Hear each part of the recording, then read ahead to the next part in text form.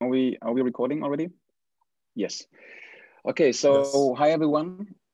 Um, since uh, Mark has to give a lecture himself now in India, which is possible, um, he apologized for not joining us.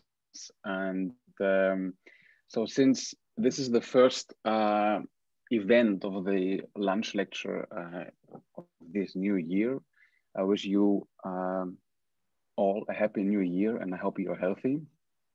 Um, Vanessa had given us a great talk in December last year about housing politics in, in Brazil uh, in the 60s. This was extremely uh, interesting and, and truly exciting. Today, um, you are on the left side then. So um, Dan Baciu will tell us about the culture and power of, let's say, ideas and the, um, yeah, the the possibility of using new tools, new digital tools to explore ideas. Um, the announcement for today raises the interesting question of whether an architecture company is more than an idea or a story. Um, and uh, Yuval Harari has told us over and over again how powerful and, and, and impactful stories can be. So I think there will certainly be, let's say, some points of connection here maybe, and I'm very curious to know more. Um, Dan joined our faculty last fall, right? Um, Dan is assistant professor of digital tools, and he's uh, working on big data, um, on the field of big data, computation, uh, and evolutionary dynamics, and how to use all of that to study culture. So um, before coming to Delft, um, Dan was a postdoc at the University of California, Santa Barbara. Uh, he did his PhD at the Illinois Institute of Technology and his master at ETH uh, Zurich.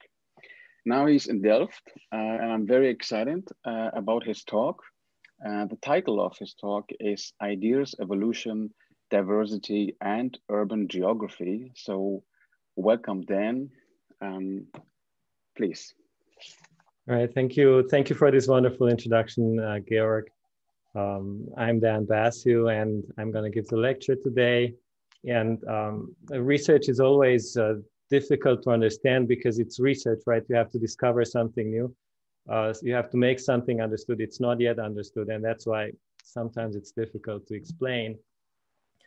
And uh, seeing this problem, I once started a lecture with a joke because I thought it, it might it might easen up the things. And at, uh, at the end of the conference, somebody came to me and, and said, you know, I, I didn't understand your lecture, but I understood the joke.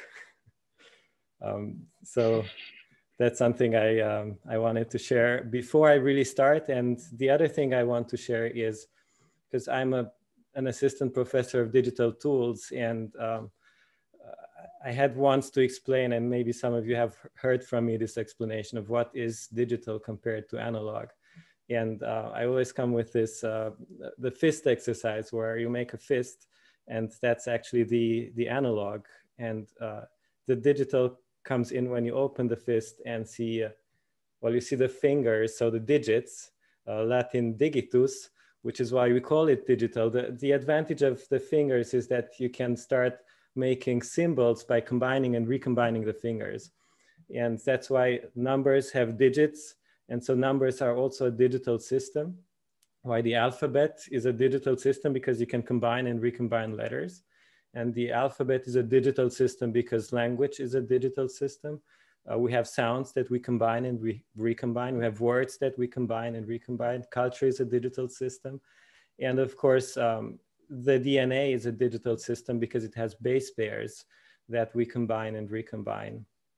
So there's uh, somehow the realization that all biological life is digital.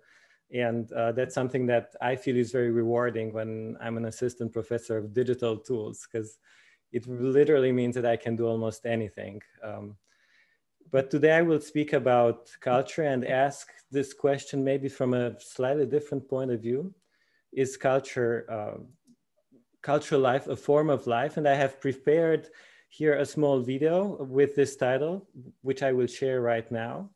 Uh, there's also a Zoom, uh, YouTube link to this video, which I will give in the chat in case some people have trouble. Here's the link, and I will play back the video, uh, which is just 15 minutes, and then I'll return to the lecture and um, give some more explanation on actual tools um, that I've been working with um, and um, on more questions. But uh, this video is maybe sort of an introduction. It's a very dense introduction, but hopefully it will change the way you think about culture and about life. Let me now share.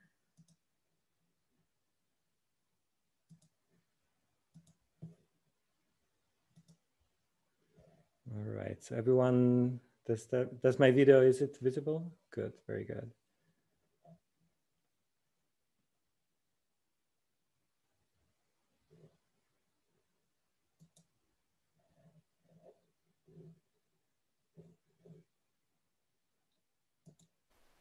Is cultural life a form of life? Several billion people observe the world and exchange messages on a daily basis. You are one of them, and this presentation is one such message. If you consider the sheer scale of communication, it may seem overwhelming. Nevertheless, the immediate outcome is easy to describe in the big picture, communication creates culture.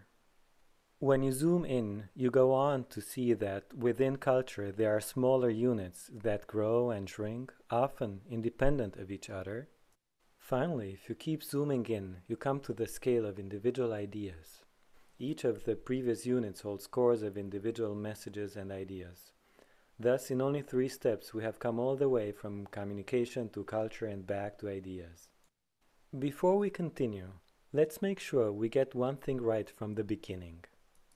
Maybe you agree that there is culture and that there are ideas, but you feel that culture is unruly and that there are no natural units that can independently grow or shrink as described before. If you hold this belief, I must disappoint you. The existence of cultural units is well known. Trend scientists call them trends. Social scientists call them social fields. Students of memetics call them memes. Fashion designers call them fashions. And artists and architects call them styles. These matching word pairs show how central the cultural units are to the people who create or those who study them. Last word pair may seem at first to break the rule. Artist and style don't seem to match quite as well as fashion designer and fashion.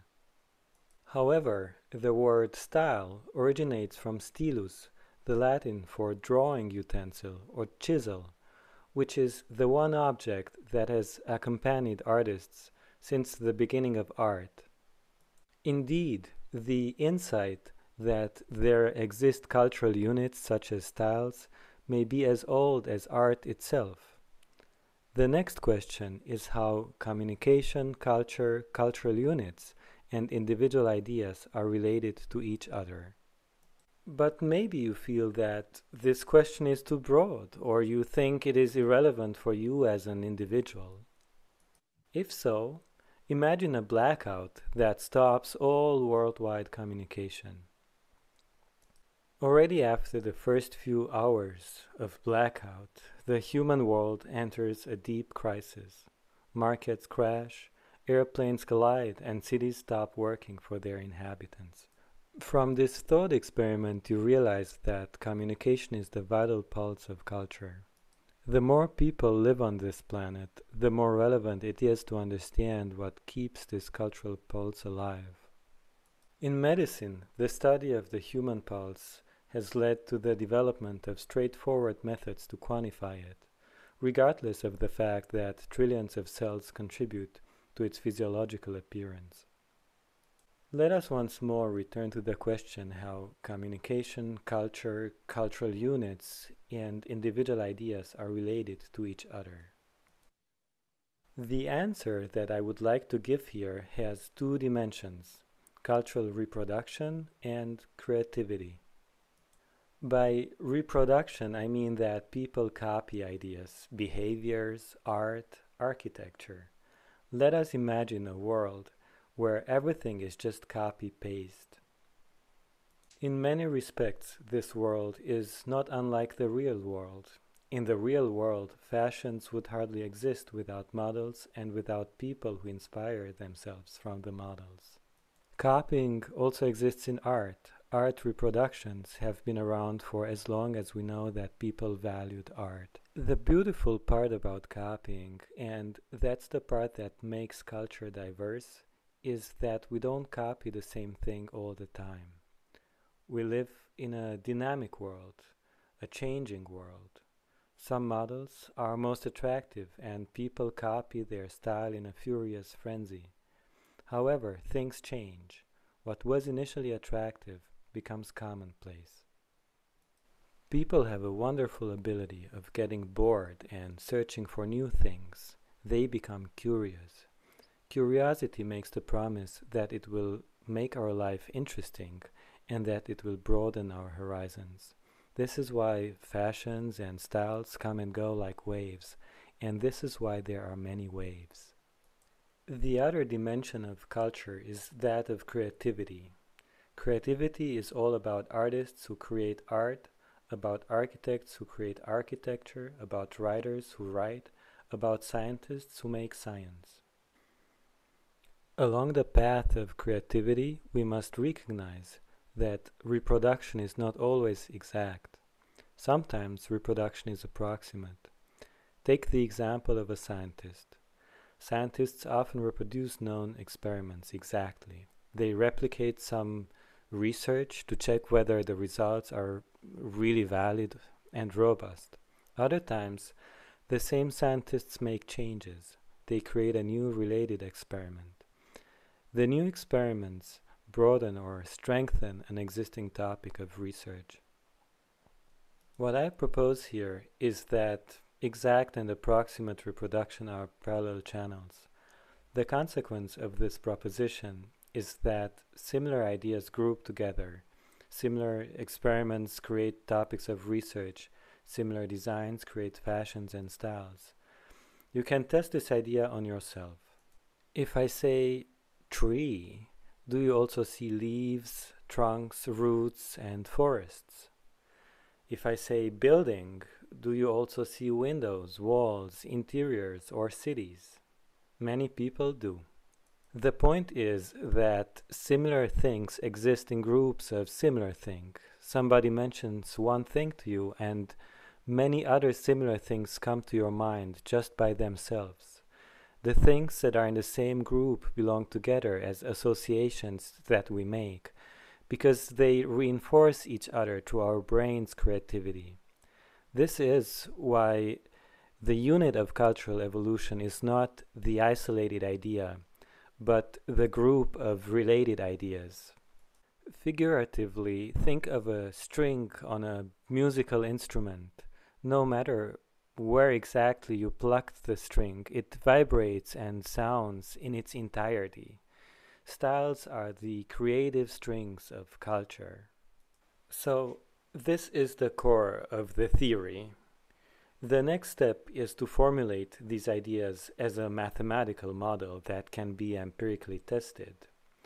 Only then we can know whether the theory makes valid predictions. The good news is that I can save you from doing the math. I already did it for you. My most recent results are published in my article Cultural Life Theory and Empirical Testing. Let me summarize. First, the concept of creativity does indeed explain why ideas cluster into coherent groups. In the groups, similar ideas come together and grow together. Second, the concept of replication and that of curiosity explain how groups compete with each other and how curiosity broadens our horizons. Curiosity explains the evolution of diverse groups, which is a key component of almost every culture. In sum, culture is creative and diverse. Putting theory into mathematics has another advantage. The math that my theory of cultural life leads to is nothing else but the core mathematics of life science. Over the last century, two sets of equations in the life sciences have evolved to explain more and more empirical observations. They are now found in many surveys of theoretical biology, and they have also been unified and formulated as one single equation, the replicator-mutator equation. In my case, I ended up with a mathematically equivalent formula. Call it the replication creativity equation. The replicator part of the equation is what I discussed here under reproduction and curiosity. The mutator part of the equation is what I discussed under creativity. So, yes, the answer to the question th that I chose as a title is yes. Cultural life down to its mathematical details, is a form of life. Cultural life follows paths that are predictable through the equation of life. Finally, what is striking is that many researchers in fields such as sociology and digital humanities used mathematics that are equivalent to mine, too. They used this math as a method of analysis they figured out that using this math for their analyses of culture was giving meaningful empirical results. And they started to endlessly debate the meaning of those results. At one point, digital humanists did not know how to call the groups of ideas that they found, and so they called them genres. At another point, other researchers called the same groups topics of public discourse. These names certainly broaden the vocabulary already mentioned. They make a great addition to trend, social field, fashion, and style. My interpretation not only shows the real scope of what groups of ideas really are, but it also made new predictions possible. One of my predictions was that groups of ideas have predictable geographical footprints, and I developed a way to test this.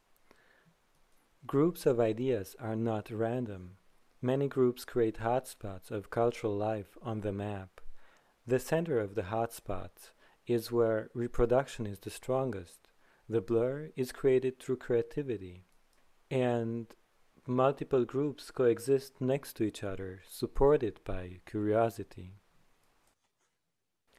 The other prediction is that life, including cultural life, tends to oscillate between the mutator and the replicator part of the equation. When the first part is active, there is growth. When the latter is active, there is diversification. And this latter part shows as formation or as recession. Many of these insights require more time to be fully understood, but I am now ready to conclude this video with something big. Let me propose a big synthesis of life. Life science is not just ecology, epidemics, microbiology, linguistics. Life science is also the study of cultural geography, social science, economics, culture and history, architecture, artificial intelligence, psychology. Ultimately, all of these fields study life in its creativity and diversity. And in all of these fields, the equation of life fosters an important foundation. It will help us to hold together, and united we stand.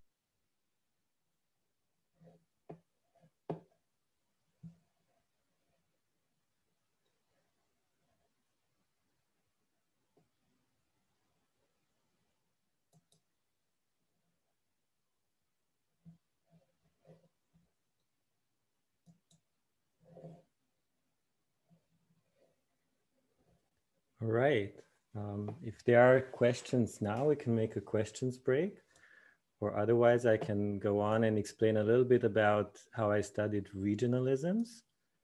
Um, so just um, raise your hand or just uh, unmute and say if you have a question. Otherwise, I will reshare and yes, Phoebus.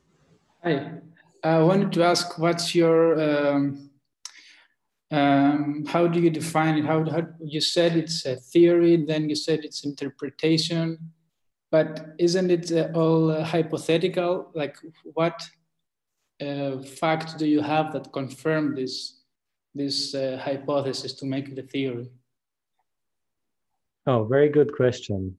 So um, most of science has two parts. It has theory and it, it has some testing. Um, and the testing is mostly empirical. So you're looking at data, whether the data actually, you make predictions and you look whether the predictions hold true. Uh, to test my predictions, I looked at um, um, 50 million pages of, uh, of uh, publications that mentioned the Chicago School during my doctorate. I looked at uh, 2 million something documents mentioning humanities and science during my postdoc. Um, and I also use uh, some of the visuals you've seen before, like um, uh, like the, the line plots. Uh, those are used with Google Books, which are mostly based on a collection of, um, I believe it, it's around 10 million books that, um, that Google and universities initially digitized um, and where you can trace ideas such as science or physical science. And you can see how people start speaking about physical science, how they speak less about it over time and how that is changing. And what makes the theory is actually the connections between the observations. So there's this observation, there's that observation, and the good theory will make the connection. It will tell you how one observation is related to the other and how these observations are related to what we know about the human brain, uh, what we know about um, the way we exchange information, what we know about communication as an individual act, like I tell something, you listen to it, or you tell something and I listen or respond. Um, so that is that's the theory part that makes the connections, and then there are the observations uh, that are first predicted and then tested when you actually look into data. Is it really true the way we think it is? And when you see that happen, you and it the prediction turns out right, or it turns out uh, to negate something you think uh, that you thought it was negative, then you think you're on the right path.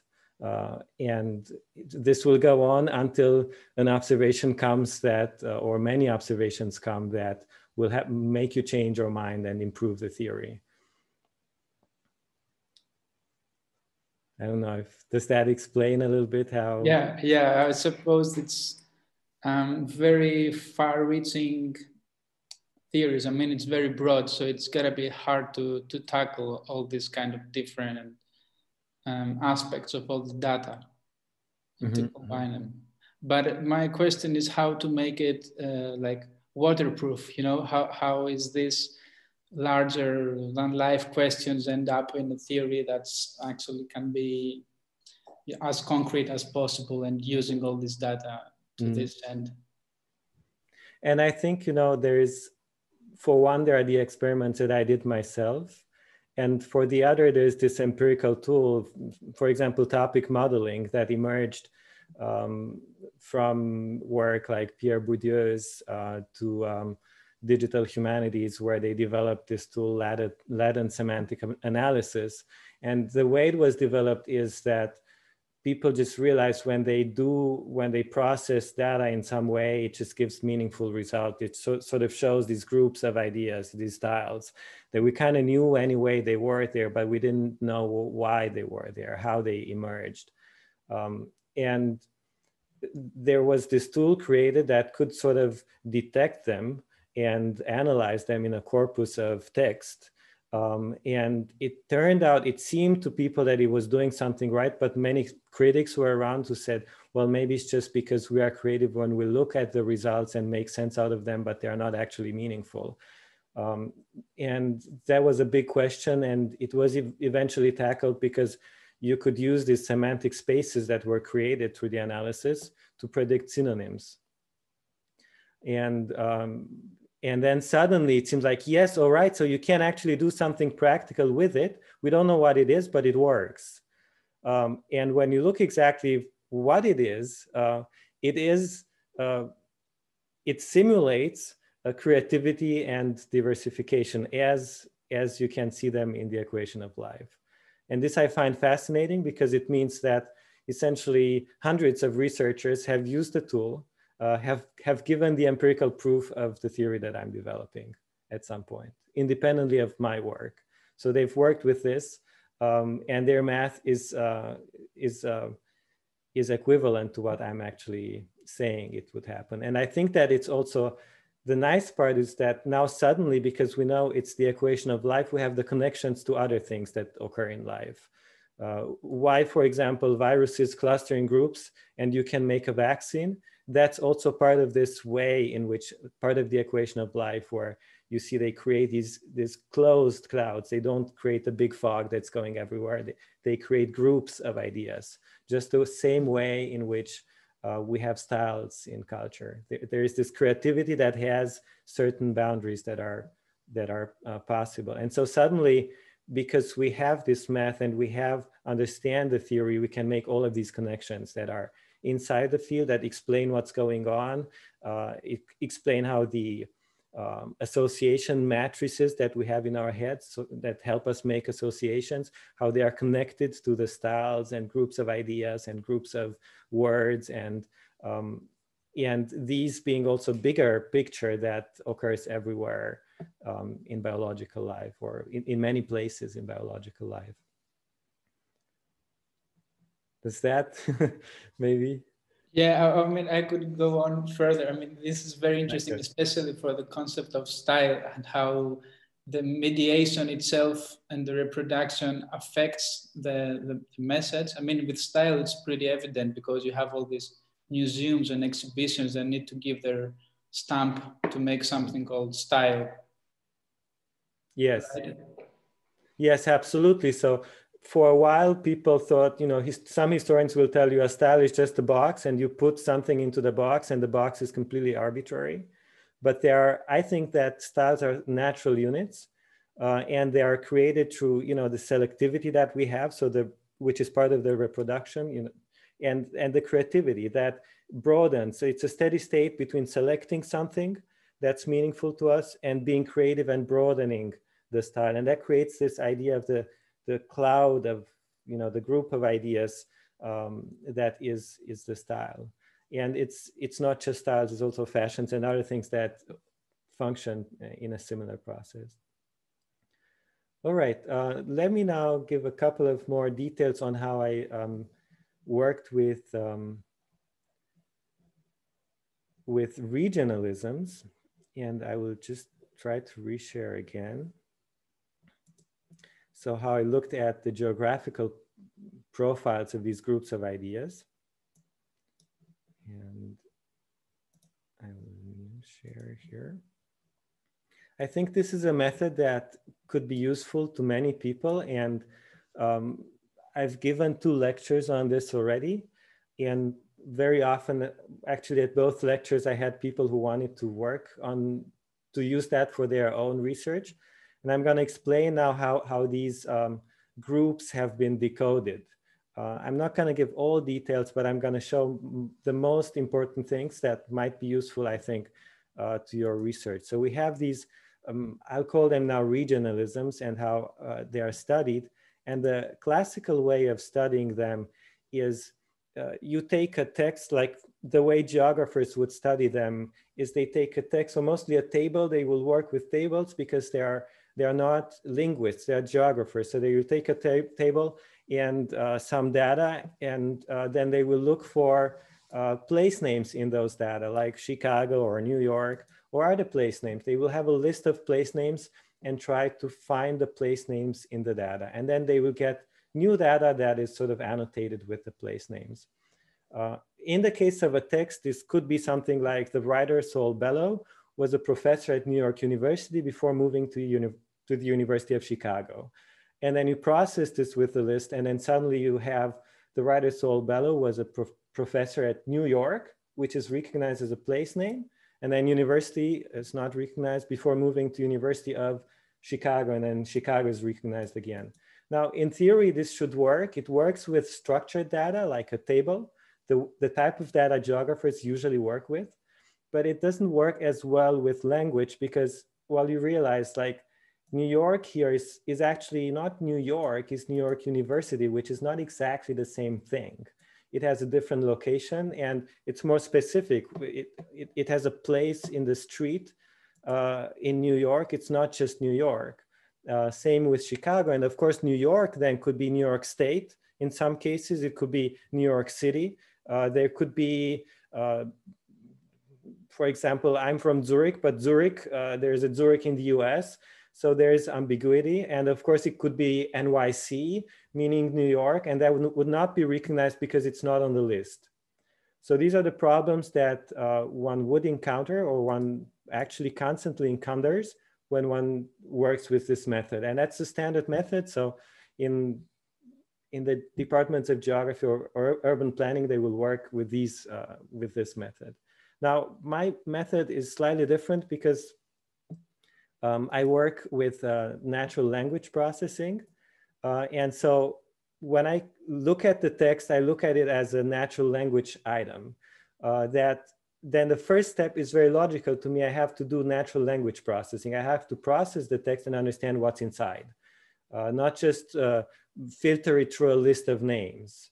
Uh, that's very important. And it has not really been done sufficiently because you have to reach the level of natural language processing that can link the text to, a, to an encyclopedia, which would make the disambiguation of homonyms like NYC uh, being New, like New York being uh, New York State or New York City, uh, but also the recognition of alternative names like NY, uh, NYC, um, and so on.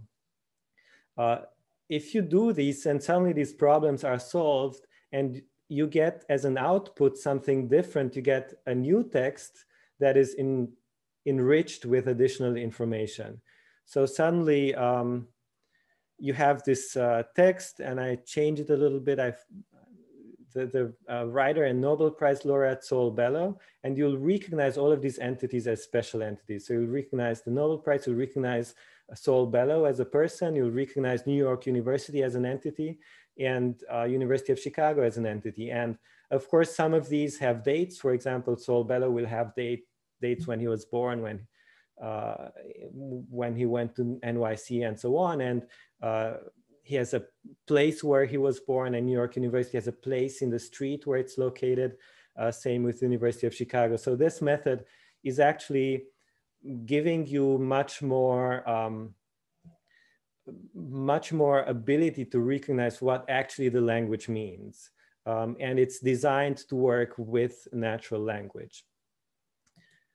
Um, and so this is eventually how these come into existence, uh, but it's not the last step. So the text has now been augmented with geographical and historical information and so on but of course we still need to analyze it. So, and which is nice because the, the text is still there. So we can run the entire analysis on the text in its entirety. So we can suddenly recognize the groups of ideas again by looking at the entire text with all of its words or all of those words that we choose to use. Um, and that suddenly creates this completely new uh, possibility of, of looking at regionalisms automatically. So you have the computer, it just runs that for you and then you can look at them, how they, um, they work. Um, I'd like to add one more topic, which might be of current, of present interest today. And that's the idea of transformers and how they are tested. Transformers are the kind of thing that uh, maybe you saw some news a couple of months ago a robot wrote this entire article, Are You Scared?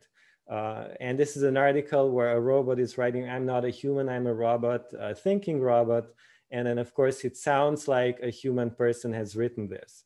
And uh, this is maybe fascinating. It's a generative tool. It's called a transformer because you put a lot of text into this tool and it will transform it uh, into a new text. So you, it takes the text that you put in and it will create a new text that looks like human written, but on a new topic. And um, working with these transformers has started much earlier. So there was a, a 1960s, uh, for example, tool of a therapist, of a digital therapist that would just ask you question. It's like a psychiatrist who will uh, talk to you. And so he's saying, how can I help you? I don't know. Uh, try to tell me something about it. No. Uh, can you elaborate? I'm sick. I'm so tired today. Uh, do you have an idea why? Yes, I'm old. Please go on. And so this goes on, and the therapist somehow uh, makes the, the patient feel good again. And some patients actually said that they prefer the digital therapist over, over the human. Um, but this goes back even uh, earlier to um, Alan Turing and his idea of an imitation game where a computer would compete against a human and the human would have to recognize whether uh, this is a computer or a human. So it's the idea of creating a perfect illusion.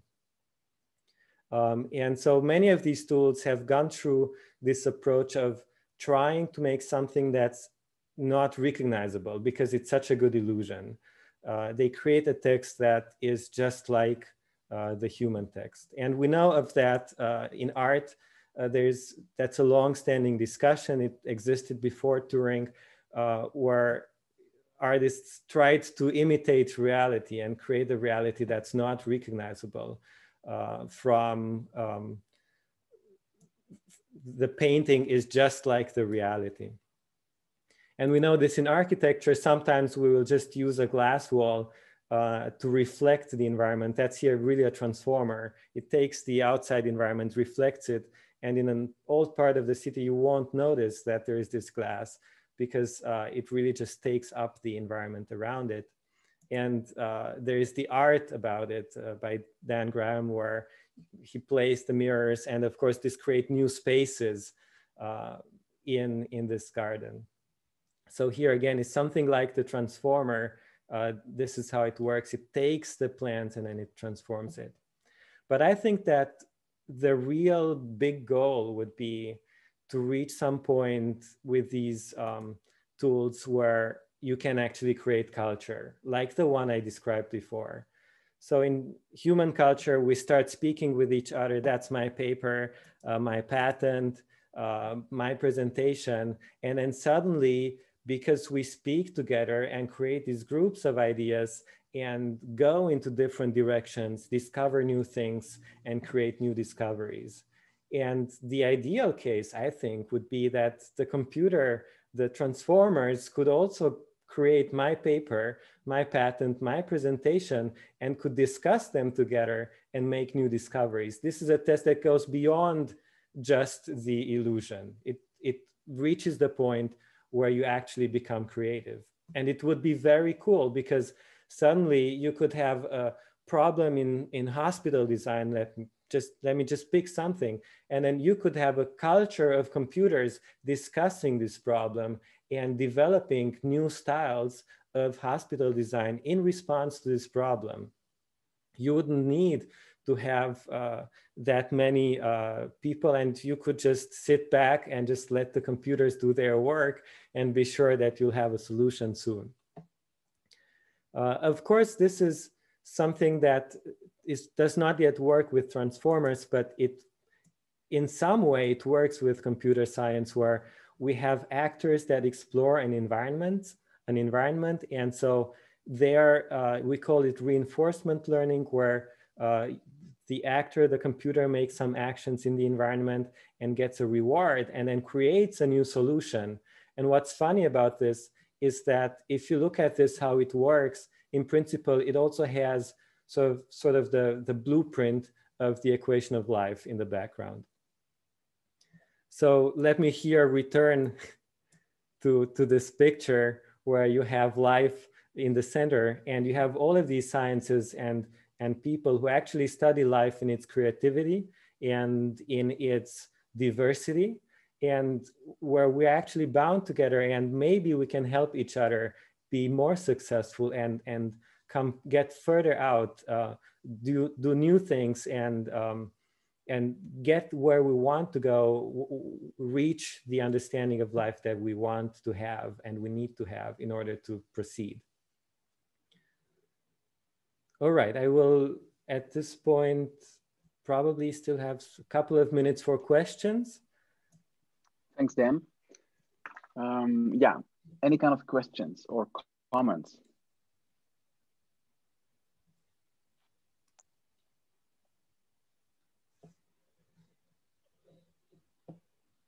Okay, I have a question. Hi, Dick. Hi, Georg. Uh, hi, Dan. Hi, hi there. It's yeah. always provocative. I, I have a. It's a. It's another question. It's a why question. Why is it important to conflate the culture of humans with the one of computers, or vice versa? To conflate what do you mean? Yeah, why, why would we think of them as being the same instead of different uh, realms? Um, it's an open question. You, you can treat them as separate items and just study them in their separate ways. But of course, the theory should make a bridge because that's why it's theory, because otherwise you just have the observation. Uh, and if it makes the bridge, it's useful in cases where you learn, for example, neural networks were inspired from neural networks. And initially they weren't good. And now they're very good because we started to learn how you have to train them. Um, and so the question is here, why learning from somebody else? Because you can. Uh, and, and because it might help you develop things that you couldn't do otherwise there's this uh, riddle of, of the machine that um, imagine you have this machine, the oracle, that tells you the answer to any question you want. It, it tells you the correct answer to any question you want to have. It's like the per and anything you can ask and it will tell you the right answer, but it's not useful. Why? Because you don't know what question you should ask. But isn't it a pity uh, if computers or humans have the same sort of neural networks and ways of working? Is Why should nice it? Have, huh? Why should it be a pity? because it because it's nice to work with different things. To think of. Um... yeah, yeah, there should be different things, and of course. Um, uh, you know, knowing what is similar can also help us find uh, distinguish things from each other make it make it different make it uh, not a neural network make it a, a very different type of uh, computer architecture um, that's certainly um, something but I, I guess that you will always even in your research you will probably start by taking something existent and then trying to add those those changes um, and so there, my interest is is finding the bridges that can make our connections. And suddenly, if you know there's uh, a process that you observe very well in one field, but you cannot observe it in the other because the empirical data maybe is not just the same way, or you can't see it quite as well. And because you know the theory is the same, you can start understanding how it goes and piece it together. Um, and I think that a big part of, say, economics and uh, evolutionary science um, and um, and other sciences, uh, bibliometrics or whatever it was, um, were initially connected through where people actually started in one field and applied what they found to the other field. And it was, uh, I think, really over the long run of history, it has actually helped people many times to be able to make these connections across the fields of study. And how, how then do you view assemblage theory or the, the popular um, concept of ecologies that are somehow sort of hyper concepts that, at least to me, seem to try to explain indeed how differences work together in an overall system. Mm-hmm, mm-hmm. Yes, yes, that's uh, that's probably to a big extent the same thing. So when I'm looking back here at uh, this scheme where you have media activity and um, people, how they uh, get bored of ideas. And then when they are bored, of course, you reach this lower point. Uh, and then the boredom is forgotten. And then there's a new chance for a comeback. Uh, that's why the fashions come and go and return. Um, and this graph is the same that you have for an interaction like say this is the population of rabbits in the classical case and this is the population of foxes and uh, first the rabbits grow and then the foxes come eat the rabbits but then there are not enough rabbits anymore the foxes die. And so you have these wobbling up and down and the math is the same here. This this is the replicator part of the equation. And it it regulates a lot of the uh, ecological interactions between species. And for example when you think of uh, say uh, Yellowstone National Park, initially, one you know the the Americans killed the uh, predatory animals like the wolves, uh, and as a result, because they thought they were not useful, they're just eating away the beautiful animals. Uh, but as a result, the deer started to grow and to grow and to grow, and there were only deer. Uh, and that's exactly the reason here. So if you don't have the blue population, you have the deer grow and you have the deer outcompete everything else. The same we have in culture. If you are not able to get bored of one idea or one group of ideas, that group will grow and grow and grow and dominate and dominate over everything. So you have to have this ability that the in the ecosystem when the wolf was re, in, reintroduced, the population of deer decreased but then there was diversification in the other species.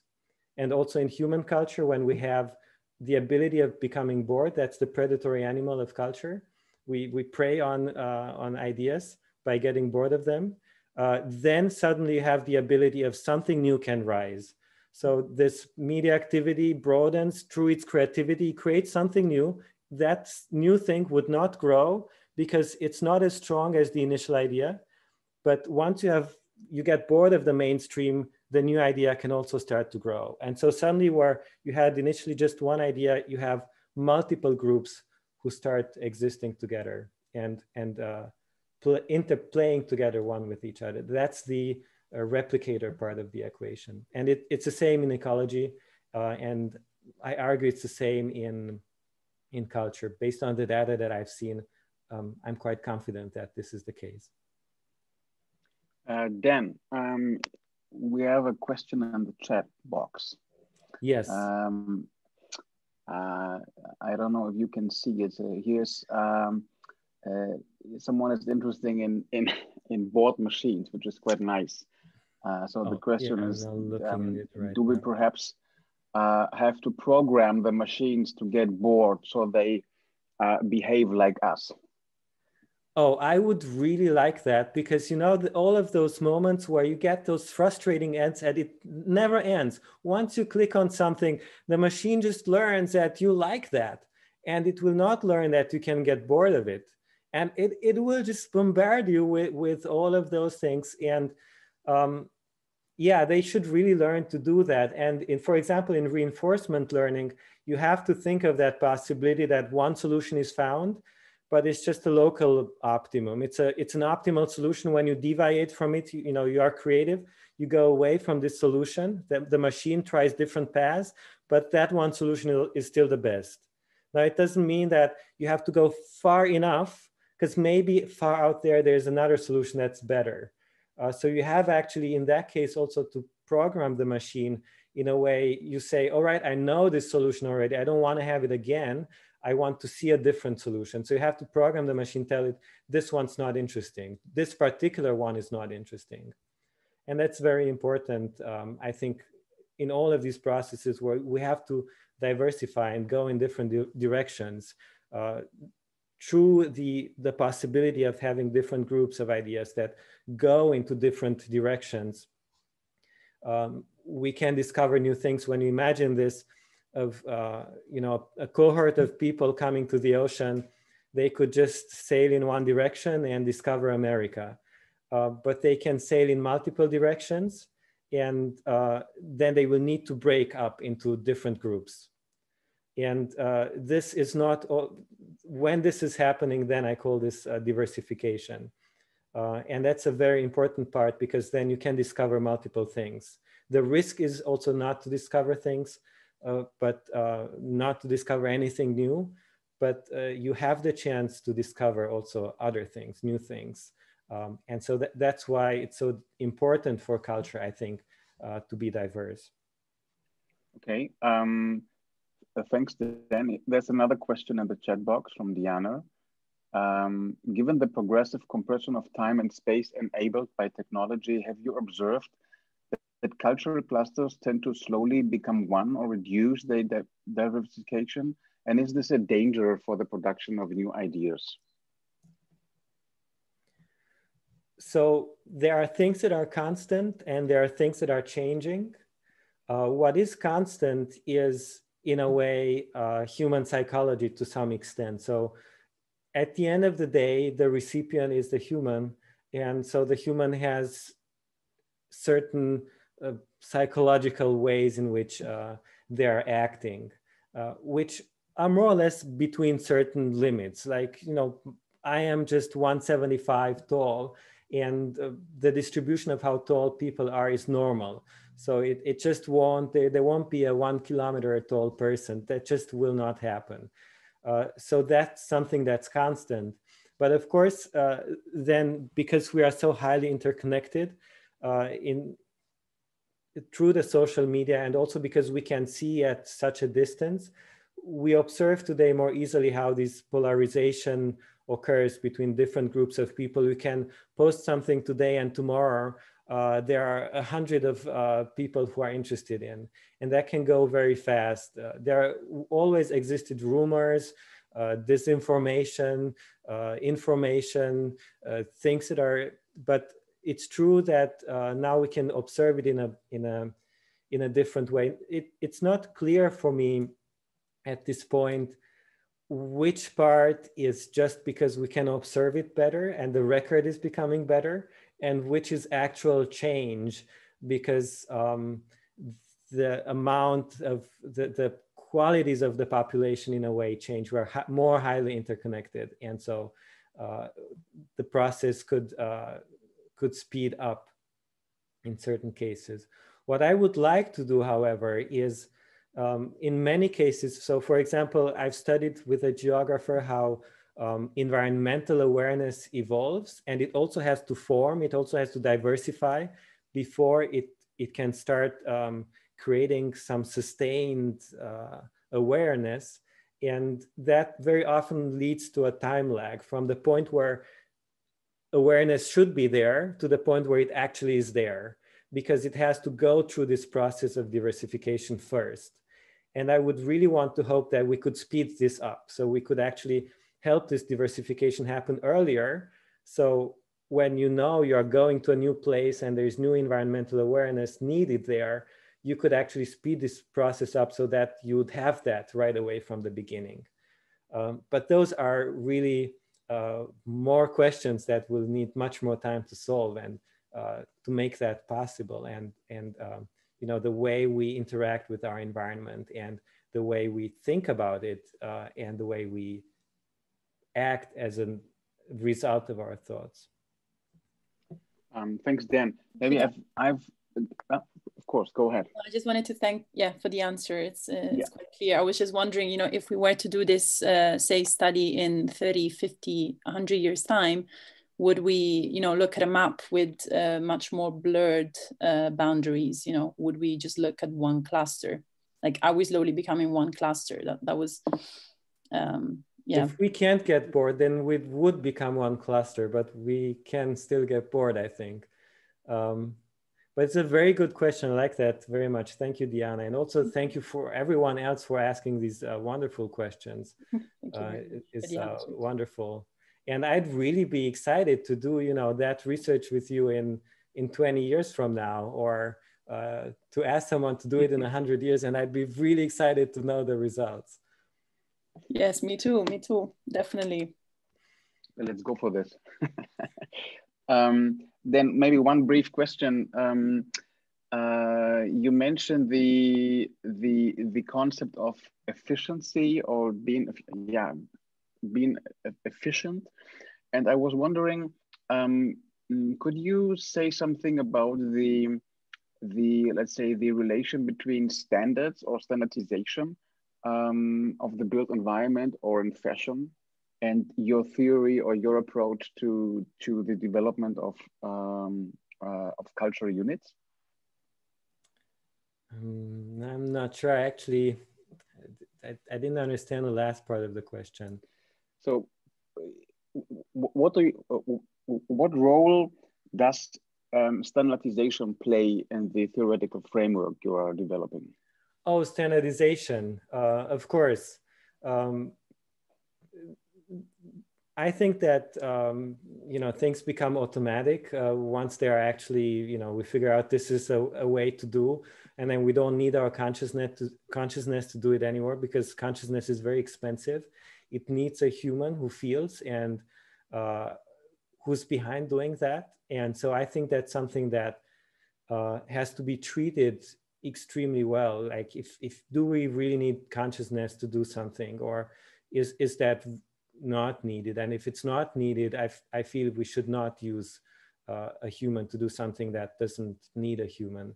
Um, and so many tasks are becoming automatic. Uh, and that's always part, because uh, even we are automatic. Uh, many of our actions are automatic. Just when I'm speaking now, most of the things I'm doing, the language is I don't have to think consciously about me breathing while I'm while I'm speaking. And so these are all tasks that are run without consciousness. And we tend to externalize them, get them out of the body, and then suddenly they, they can be done somewhere outside, uh, which is easier for us to do. Uh, and so they are becoming automatized. And standardization is part of this, right? Because we've realized this uh, this standard is just a, a, very good way to do it, and most of the products will be similar. And then, of course, sometimes you need to have a common language like the genetic code is is all is the same for all uh, living beings. Um, and uh, th there need to be standards based on which we can uh, exchange with each other uh, information. But then of, of course uh, even with standardization there's always creativity that you create you start with a standard maybe but then you create something slightly new and that could create again uh, a new type of culture where you're going into new directions and discovering maybe a new standard that in the end will become ossified. It, it will become this sort of robust thing this this solid thing that doesn't need to evolve anymore because it's already uh, it's already sort of solved. Uh, there's there we shouldn't uh, spend our consciousness and our evolutionary um, uh, potential to solve something that's already uh, in a way at the point where we don't really trust that new discoveries will will um, will will change. And so there is the point between uh, investing consciousness and uh, creativity and diversification into something that's actually uh, useful. Uh, it, it, it goes into promising uh, directions uh, beyond say, say things that are just as good as uh, you know you can just standardize them and be just as well off. Yeah. Um, thanks dan. Maybe one uh, last question.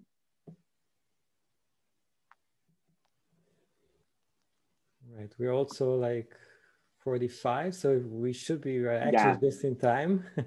Yeah it's it's uh, so thanks again dan. It was a really uh, fascinating talk. Thanks for sharing your research um, uh, as well.